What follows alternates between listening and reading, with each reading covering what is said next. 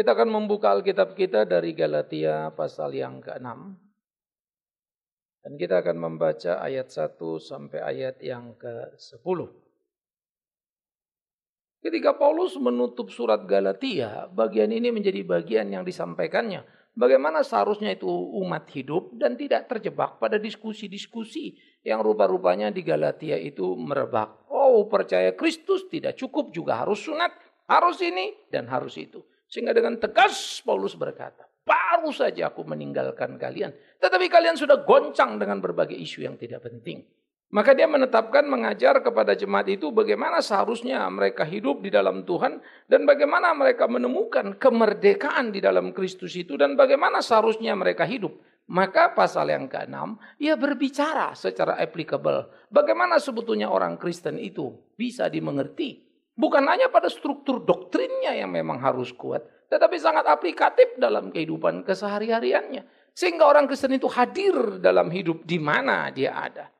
Saya suka ketika Alkitab berkata jadilah garam dan terang dunia. Maka kita seharusnya dipanggil untuk menggarami, menerangi dunia. Jikalau tidak, kita tidak bisa melempar lalu berkata dunia ini makin jahat. Saya pikir itu kalimat yang salah. Yang adalah orang Kristen semakin gelap. Kalau saja orang Kristen itu kuat di dalam terangnya, bukankah dia akan mampu mengalapa, mengalahkan kegelapan. Tetapi sebaliknya jikalau dia tidak mampu dalam terangnya, bukankah dunia akan semakin gelap. Sehingga bukan gelap itu yang bermasalah. Tetapi kita di dalam panggilan kekristenan kita. Sayangnya, gereja tidak berada pada posisi itu kecuali berkata, dunia semakin gelap. Oleh karena itulah, bagaimana tataran hidup diajarkan pada nilai Kristiani yang sangat berbeda. Sehingga ketika Paulus berkata, saudara-saudara, kalaupun ada satu orang melakukan pelanggaran, ayo tolong orang itu ya ke jalan yang benar. Bawa dia kembali. Dan saya harus berkata, capek. Ya, itu tidak sederhana, Saudara. Ya. Tetapi ini menjadi panggilan kita karena memang kematian Kristus bukan kematian yang sederhana. Harga kematiannya bukan harga yang murah dan recehan. Tetapi adalah satu keluar biasaan ketika dia menyangkali keilahiannya dan dia juga menyapa menuntut kepada kita untuk kita menyangkali diri kita. Ia menyangkali keilahiannya sehingga Allah jadi manusia. Maka kita juga harus belajar menyangkali diri kita. Sehingga kita menjadi orang yang bukan lagi kita seperti yang dulu. Kalau dia Allah mau jadi manusia, mengapa saya manusia lama tidak mau menjadi manusia baru? Karena itu, ajarlah supaya engkau bisa melakoni dan menjalankan semuanya, tetapi berjaga-jagalah.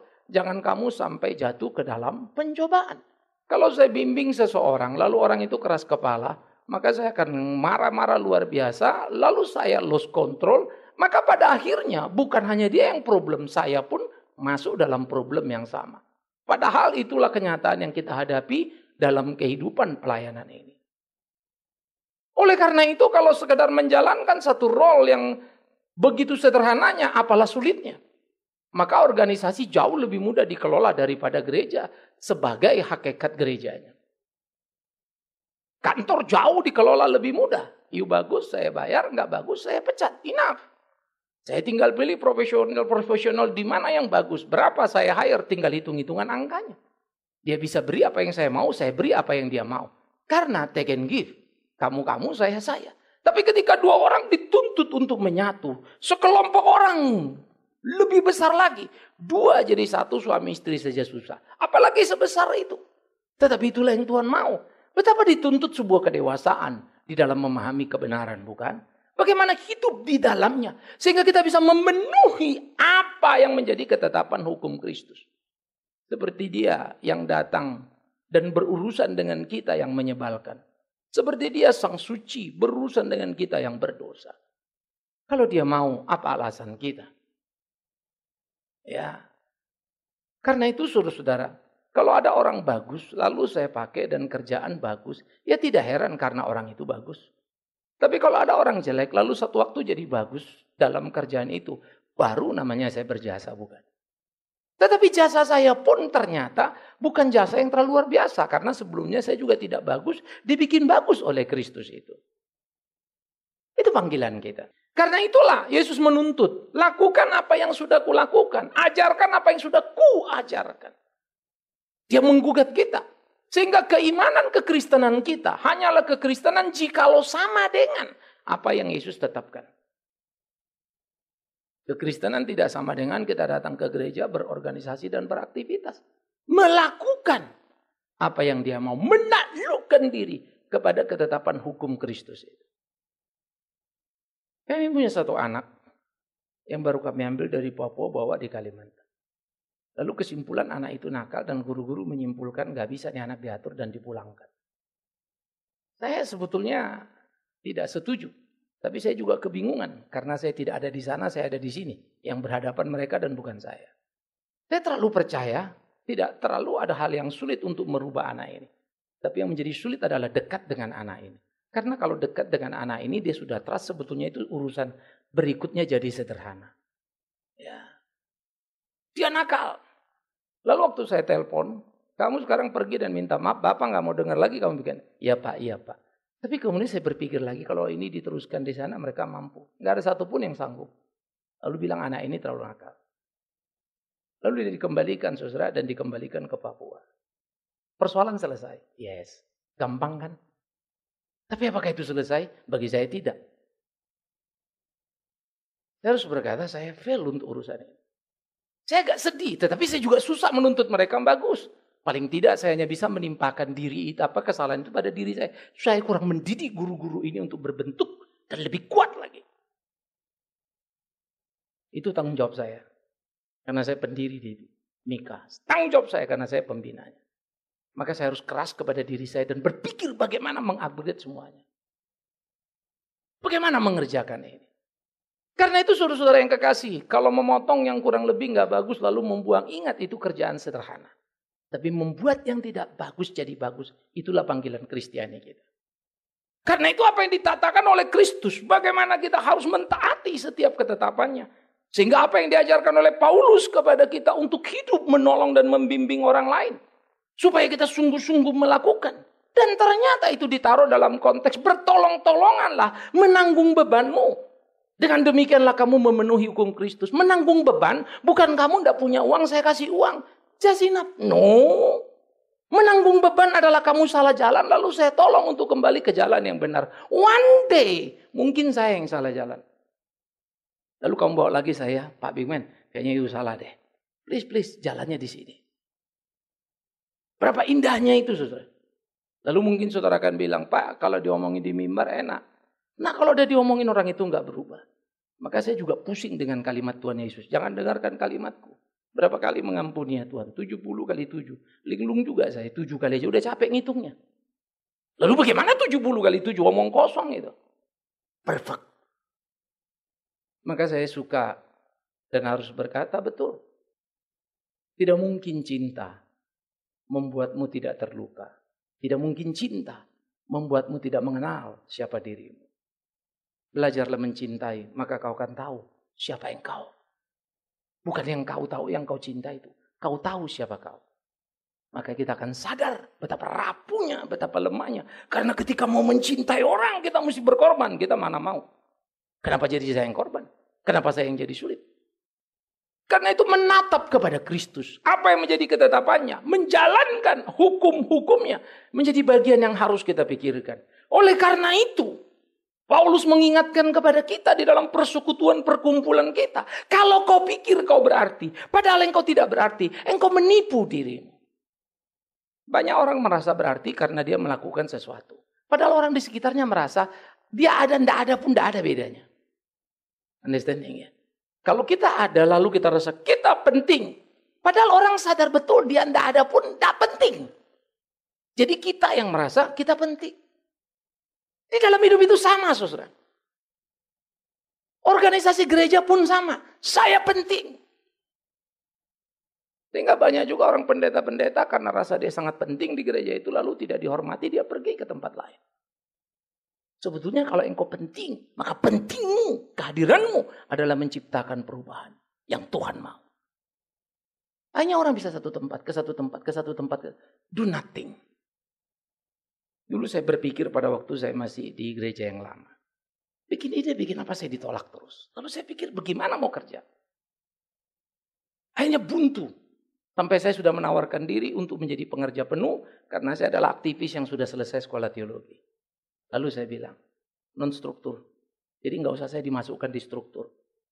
Nggak usah jadi pendeta ataupun mau guru Injil. Karena saya cinta pada anak-anak yang saya urusin di sekolah minggu dan sedang dididik sampai ke remaja lalu ke pemuda. Itu tanggung jawab saya. Sorry. Udah saya turunin lagi sudah non struktur, non facility. Karena pengerja itu dapat facility dari gereja kami yang besar itu. Gak juga, saya tambah satu lagi, non salary. Apalagi yang mau kurang. Tapi saya tidak, tidak diterima. Karena dianggap menjadi orang yang mengacaukan saya.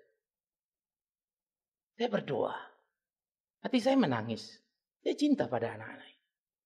Kelas sekolah minggu yang kita mulai tidak ada tunas. Kita taruh basis lalu berbentuk tunas. Tidak ada taruna kita taruh basis lalu bentuk taruna. Saya masih aktivis. Dan saya bersyukur kepada Tuhan bisa membuat buku tiga tahun untuk anak-anak maju. Bahan-bahan materi. Lalu remaja kita dari yang 60, satu kali kebaktian menjadi 20, 300-an lebih. Karena nggak bisa lagi satu kebaktian. Tapi saya tidak pada tiba pada titik buntu. Mau bagaimana ini? Lawang saya udah lepas bisnis saya. Non salary pun saya nggak diterima. Ini saya berdoa. Dan saya keluar. Hari ini memang baru saya bisa mengerti. Tuhan akan taruh di mana kita bisa berarti. Saya taruh di sana, yes. Saya kerjakan, yes. Tapi yang lain tidak lihat saya berarti karena mengancam masing-masing mereka.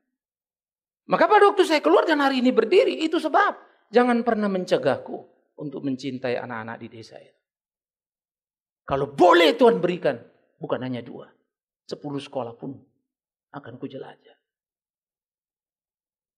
Kalaupun aku harus mati karena itu. Itu kehormatan.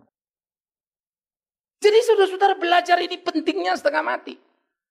Ngurus anak desa itu paling sulit. Kadang-kadang kita pikir anak desa tata keramanya gampang. Ini anak-anaknya polos-polos, tulus-tulus. Nanti dulu. Kadang-kadang karena mereka hidup tidak terpola, tidak terdidik, liarnya luar biasa. Tuh. Penting untuk pendekatan terus. Betapa pentingnya kita membuat diri kita berarti, tapi betapa sangat tidak pentingnya kita kalau berpikir kita berarti padahal tidak punya arti. Penting kita menjadi berarti, tapi jauh lebih penting untuk sadar kalau memang kita tidak berarti. Sehingga saudara-saudara yang kekasih ini menjadi bagian yang luar biasa. Oleh karena itulah dikatakan tiap-tiap orang supaya bisa berani menguji dirinya sendiri. Apa yang kau kerjakan? Lihat. Saya paling kagum kalau ngeliat orang dari mobil rongsokan dia utak atik tuh mobil bisa jalan. Keren loh. Bagi saya mobil ini lebih berharga daripada mobil yang orang beli baru lalu jalan bareng. Ini hebat ini. Orang kalau kutak atik ya Morris yang kemudian jadi oplet zaman dulu ya. Opletnya si Dul kita bilang. Saya ketemu yang bagus lalu saya lihat orangnya ekonominya biasa saja. Lalu saya bilang gimana? Waduh pak saya cicil-cicil. Berapa lama lo ngebangunnya? Empat tahun. Gila. Hebat betul. Ya Pak cari atu-atu, cari atu-atu, cari atu-atu. Saudara, sentuhan sangat penting. Sentuhan cinta pada mobil tua. Tanpa cinta pada art, tanpa cinta pada nilai seni, tanpa cinta pada teknik, orang nggak akan suka. Nyentuhnya makainya. Ini kalau dipasang AC, pasti ambruk mobilnya. Sebuah seni lalu dia ukur begitu rupa. Ini orang sangat tinggi. Dia cuma bilang dia, kalau kamu berani investasi waktu dan mulai belajar menyukai itu. Itu mungkin awal yang bagus untuk tutup kita turun ke bawah. Kalau mobil mewah injak gas, dia mau speed 300 pun dia bisa dapat selama jalannya kosong. Tapi mobil ini kamu injak 300, mobilnya nggak tahu ke mana, kamunya lebih parah lagi. Jadi mari kita belajar. Bisa enggak saya? Karena saya bilang ya kalau cuma sekedar lihat, oh ini antik taruh di rumah. Saya jamin itu jadi pajangan. Tapi kalau orang yang cinta dia bangun pagi pun dia hidupin nenek. Deng deng deng deng pokoknya hidup di situ jalan muter-muter. Karena semua kaki-kakinya penting untuk jalan bergerak. Kalau enggak Sebulan gerodokan begitu juga hancur. Tiap kita mesti mengukur dirinya sebetulnya saya punya ini cuma tren atau sebetulnya saya punya ini memang karena saya suka dan saya cinta. Ya, itu menjadi satu bagian yang kita mesti pikirkan. Sehingga dengan demikian kita harus berani menguji diri kita sendiri. Menguji pekerjaan yang kita kerjakan. Apa yang sudah saya kerjakan. Kalau Anda kerja di kantor, jangan minta dihargai atasan. Bodoh sekali.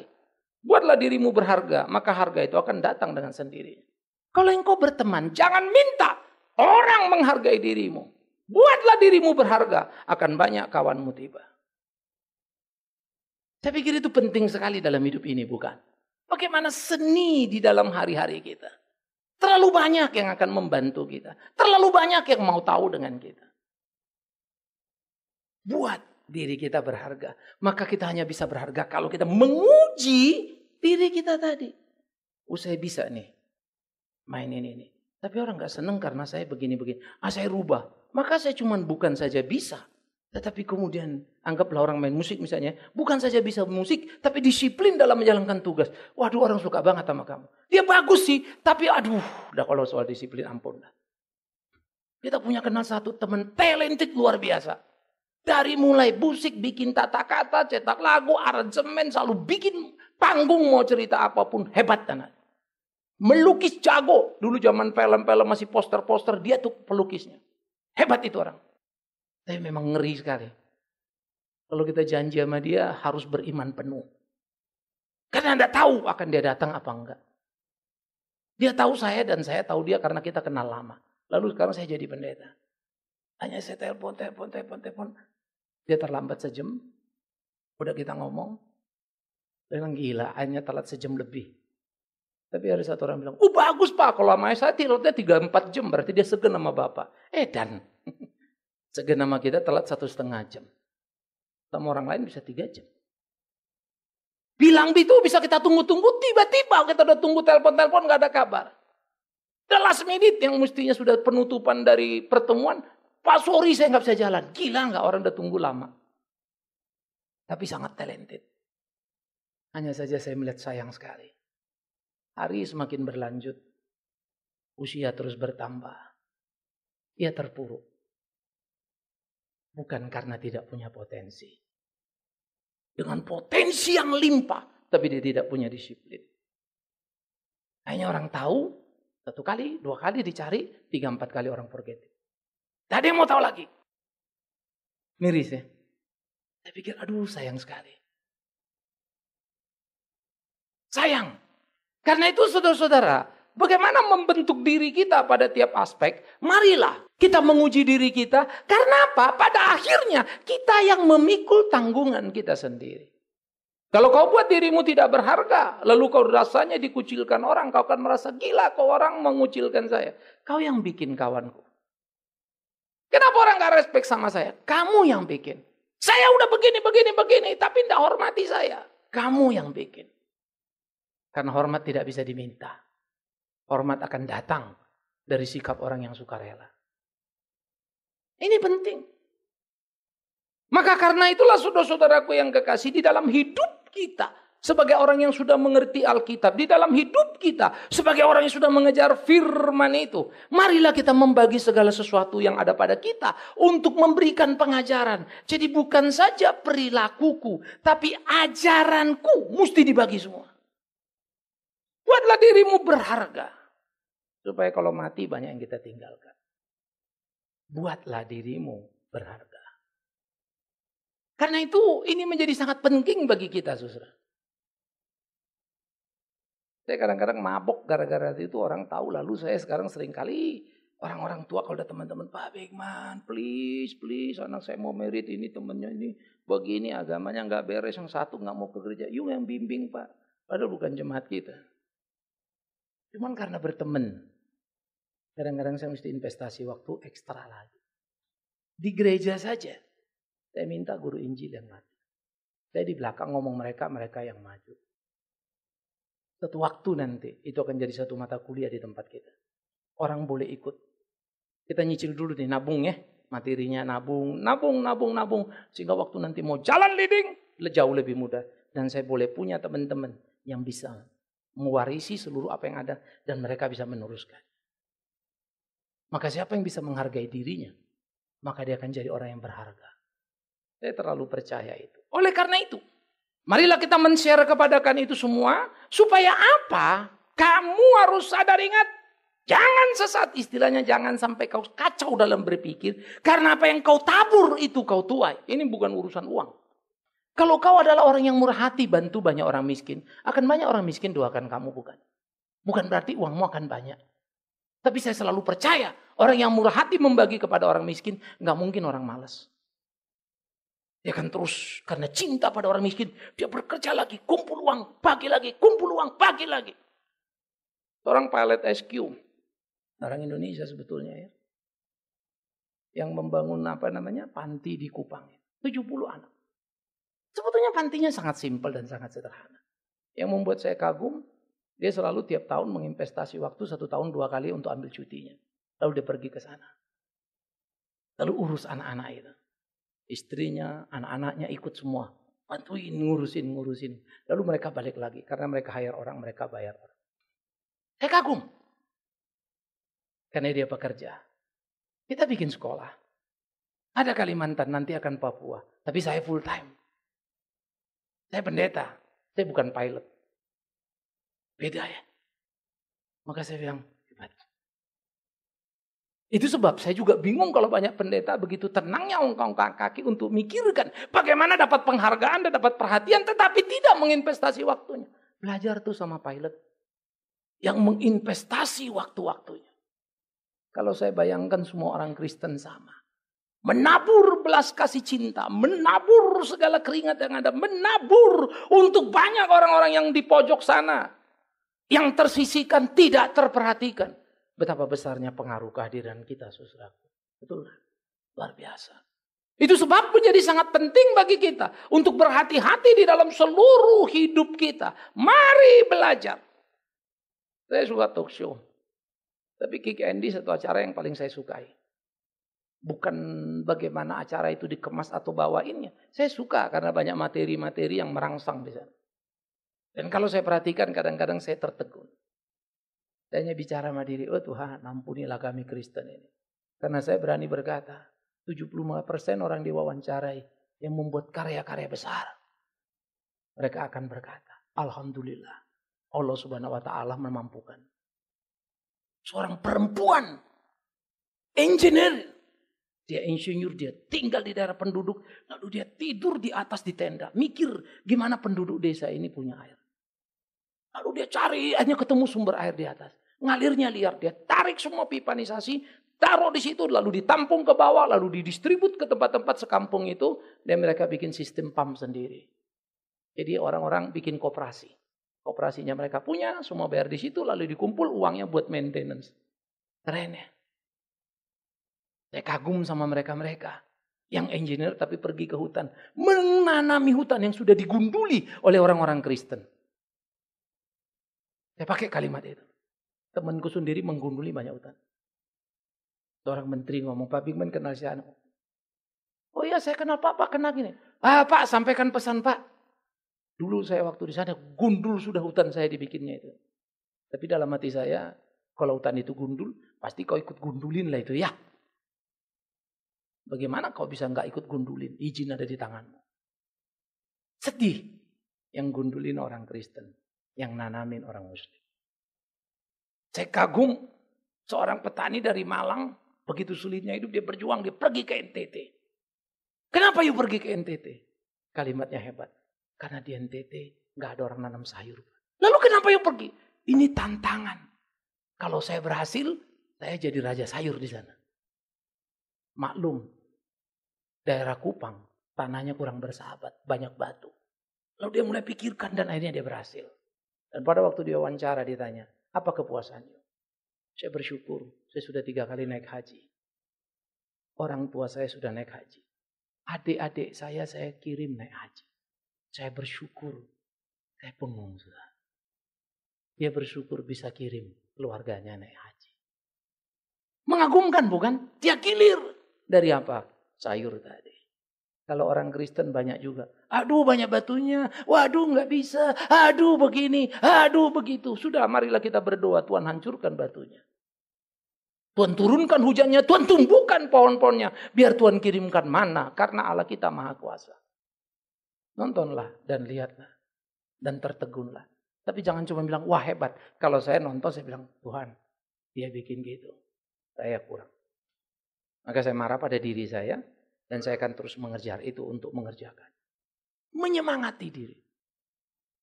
Berapa pentingnya saudara? Kita membuat diri kita itu menjadi berarti. Oleh karena itu, kalau kita hanya menabur daging, menabur daging keinginan-keinginan duniawi kita, ah, itulah kau apa namanya tuai. Tapi kalau kamu menabur nilai-nilai yang tinggi, yang disebut rohani itu, itu pula lah yang engkau akan tuai. Kalau engkau hidup dalam gaya pesta pora, maka teman-temanmu pun akan sama seperti kamu hidup. Maka apa yang kamu tabur di situ? Tidak perlu saya cerita, sudah terlalu banyak judulnya. Bagaimana orang menyesali langkah-langkah hidupnya. Tapi pertanyaan menjadi menarik bagaimana kita menjalani hari-hari hidup kita. Supaya kita terus ada pada jalan yang Tuhan kehendaki. Dan tidak pernah jemu-jemu berbuat baik. Karena pada waktunya. Kalau waktu itu tiba, kita akan menuai hasil perbuatan kita. Kalau kita tidak jadi lemah. Artinya kita sudah mengerjakan satu pekerjaan, lalu udah kerjaan ya. Orang gak hargai. Aduh capek nih. Akhirnya kita tinggalkan karena kita sudah jadi rasa frustrasi. Padahal sisa lima menit loh. Lalu kita kecewa. Hilang. Akhirnya kita nggak panen apa-apa. Maka saya suka kalimat di atas kayu salib. Sudah. Finish itu penting. Maka berbuat yang terus menerus tidak jemu-jemu. Belum tentu lo dibalas orang. Yesus buat baik, nggak tahu lagi. Rasul-rasul itu ngikutin babak belur yang mereka dapat. Tapi demi Tuhan yang hidup. Apa yang mereka tabur telah mereka tuai. Aku sudah menyelesaikan pekerjaan. Surga menantiku. Apa yang mereka tabur, mereka tuai. Mereka berani menderita dan hanya mereka bisa menikmati penderitaan. Kenapa kita tidak bisa menikmati penderitaan? Karena memang kita tidak pernah mau menderita. Karena kebenaran itu. Mereka mau menderita karena kebenaran. Mereka punya kekuatan menikmati. Dan saya berdoa, Tuhan tolong kami. Sangat penting menjalani hidup ini.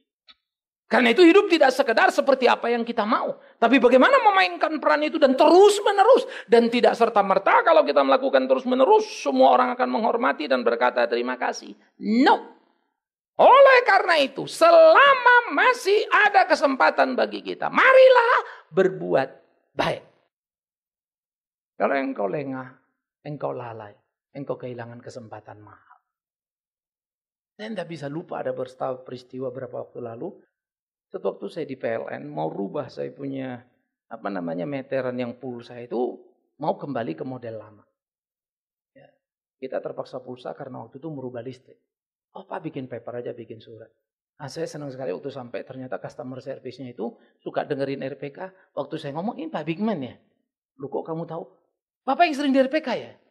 Lu kok saya kan sering dengar suara saya apa? Cuman saya nggak pernah lihat muka Bapak. Untung saya datang baik-baik. Dibantuinlah sama dia semuanya beres. Lalu rubah. Di samping saya ada satu ibu datang. Waktu saya lagi ngomong. Eh, saya kalau mau tambah boleh nggak dari 450 itu mau jadi ke 900 watt. Itu sekali ya. Oh bisa bu. Ibu tambah kenapa tanya? Soalnya kamarnya satu mau dikosin. Saya nggak kebayang rumahnya sekecil apa, lalu kemudian dibagi lagi. Lalu kemudian ngomong, oh boleh, ah, itu jatuhnya 450 ribuan. Ibu tinggal bayar saja 450 ribu nanti ini bikin surat tanda tangan bayar di loket. Baik sekali dia melayani. Yang buat si ibu repot, hah 450? Kok mahal amat? Nggak bisa kurang. Di PLN saudara. Kadang saya pikir ya, ini kan PLN ini bukan warung kan gitu ya. Tetapi itulah keluguan hati seorang susah. Gak bisa kurang. Saya uangnya kan gak cukup. Saya nimbrung. Bu, kan ibu mau kosin. Anggap aja uang kos satu bulan taruh sini. Ya uang kosnya aja nggak segitu. Baru saya mulai berpikir, namanya otak kita ini pikir kos 450 ribu kan udah murah ya. Nggak segitu itu apa ini? Di mana nih orang tinggal? Berarti rumah itu sangat kecil sekali bukan? Seadanya. Terus saya pikir, saya mau bayar saya punya. Udah, saya bayar selesai, saya mau balik. Waktu saya mau jalan itu saya udah pikir, kasihan si ibu. Biar saya yang bayar. Udah saya balik, saya balik lagi dong ke situ. Ya ibunya dia hilang. Mbak, ke mana orangnya tadi? Saya mau bayarin dia. Udah jalan pak, saya Uber keluar. Nggak ada di halaman parkir. Saya Uber sampai ke halte. Saya tanyain sopir saya, tadi ada keluar situ. Saya Uber di halte, nggak kelihatan juga. Hilang. Dia tahu menyesal saya sampai hari ini. Kalau ku ingat itu aku nangis. Bodoh. Tolol Big Man Sirait. Hari itu Tuhan berikan kau kesempatan. Hilang dan tidak bisa kau selesai. Sebetulnya saya tidak perlu melangkah sana tunggu dulu. Nanti balik urusan saya baru harus saya. Ibu udah. Mbak lu proses. Gue bayar. Mestinya barang-barang. Minat baik saja tidak cukup. Eksekusi segera. Kalau kesempatan itu ada di tangan kita, lakukanlah. Sampai hari ini saya menyesali itu. Emang Bapak kenal dia? Enggak tahu saya siapa. Emang dia orang Kristen? Ya jelas enggak lah orangnya pakai jilbab. Tapi dia orang tua. Tidak kebetulan saya ada di samping dia. Dia sedang berkeluh tentang kesulitan. Sebetulnya kupingku ditaruh Tuhan untuk dengar itu. Tapi aku terlalu asik dengan urusanku, nanti baru urusan yang lain. Padahal tidak ada sulitnya bilang, ini ibu saya kasih. Terus ada satu teman saya, sesudah saya sharing seminggu kemudian dia bilang, aduh Pak Bingman, kemarin saya ketemu orangnya, saya kasih orang itu satu juta, dia bilang. Kenapa? Wah, Sebetulnya saya nggak pernah lakukan begitu. Orang ini penting kayaknya begitu ya. Saya juga nggak tahu-tahu. Udah deh saya kasih aja dia satu juta. Udah buat bapak nanti pakai begini bukan. Terus saya tanya dong kenapa? Dijawabnya apa? Wah, waktu minggu lalu pas bapak lagi cerita-cerita sama kita, saya jadi gelisah aja terus begitu ya. Eh pas ada kejadian gitu saya takut loh. saya kasih. Saya bilang sama dia, kamu hebat. Kamu untung saya rugi. Padahal kamu untung gara-gara saya yang ngajari. Lucu ya. Saya ngajarin dia, dia untung. Saya ngajarin, saya nggak untung. Makanya, jangan terlalu banyak bicara. Tapi belajarlah melakukan. Saya tulis menyesali. Dia dengar dan dia tidak mau membuat kesalahan yang sama. Walaupun angka itu menurut saya gila, kak, gede amat lo kasih dia. Tapi saya juga ngerti buat dia nggak ada artinya.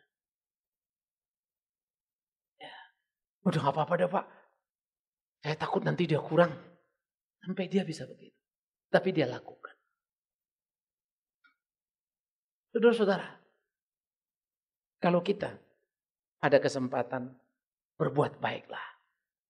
Pada semua orang. Memang terutama pada kawan seiman. Tapi ingat, pada semua orang. Berbuat baiklah kepada siapa pun apa yang kita bisa. Terutama pada kawan kita yang seiman. Bagaimana kalian bisa berkata, Pak Bigman pendeta saya, Pak Bigman baik, Pak Bigman bagus. Aku jatuh dan terluka. Tidak ada tangan yang terlur menolong. Omong kosong kan ya. Sebaliknya, bagaimana saya bisa berkata, kalian jemaatku. Ya, aku akan setia melayani kalian. Tapi kalian terpuruk. Saya tidak mau tahu. Aku pun penjahat. Mari lomba. Mari kita bertanding. Tak seorang pun menjadi penjahat.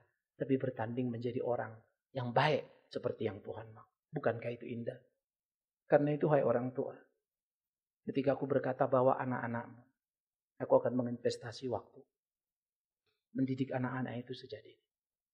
Bawa dan kita akan melatih mereka. Bawa dan kita akan mengajar mereka. Supaya mereka terbentuk menjadi anak-anak muda yang solid.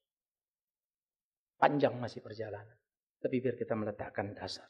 Satu, satu, satu. Biarlah Tuhan menolong kita untuk terus kita menjalankan apa yang menjadi ketetapan hukumnya. Jangan pernah abai. Sehingga kita lalai dalam melakukan apa yang menjadi ketetapan itu. Jalani terus. Kerjakan terus. dari waktu ke waktu. Sehingga hidup kita sungguh-sungguh mengukir karya demi karya dalam hidup ini. Tuhan menolong kita, Tuhan memimpin kita. Ingat, jangan sampai kehilangan kesempatan. Karena barang siapa diberi Tuhan kesempatan untuk berbuat baik dan dia tidak berbuat, maka seperti Alkitab balang, kamu sudah berbuat jahat. Karena kamu tidak melakukan apa yang baik.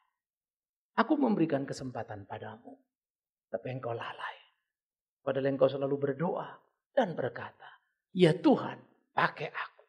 Tapi ku pakai, engkau pergi dan lari. Tuhan menolong kita. Menemukan